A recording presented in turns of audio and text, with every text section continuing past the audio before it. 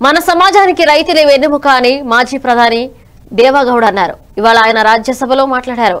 రాష్ట్రపతి ప్రసంగానికి ధన్యవాద తీర్మానం సందర్భంగా మాట్లాడుతూ రైతు దేశానికి వెన్నెముక అని వారిని సరైన రీతిలో ట్రీట్ చేయాలన్నారు. గణతంత్ర దినోత్సవం రోజున ఢిల్లీలో జరిగిన ఘటనలను ఆయన గుర్తు చేశారు. ఆ రోజు జరిగిన సంఘటనలను అన్ని రాజకీయ పార్టీలు ఖండించాయని ఆ విధ్వంసం సృష్టించిన వారిని శిక్షించాలన్నారు. కానీ రైతుల సమస్యలను ఆ విధ్వంసంతో కలిపి చూడరాదన్నారు. సానుకూలంగానే రైతు సమస్యలు పరిష్కరించాలని మాజీ ప్రధాని దేవగౌడ సూచించారు. To help the farmers, the decision which I have taken under the leadership, under the coalition government which I have been asked to perform as a prime minister.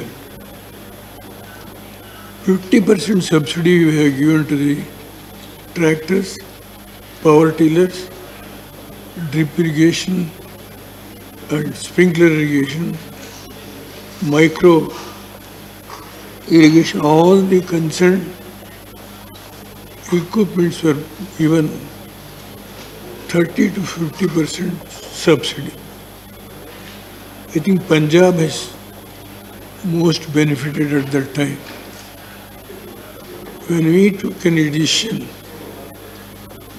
for uh, the poor people, the poor people also classified not by any presumption or assumption. Lakdawala committee has taken the decision at the time. I think the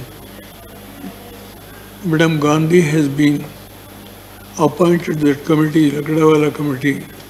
They gave the report. Nearly 36% is below poverty line. To help those people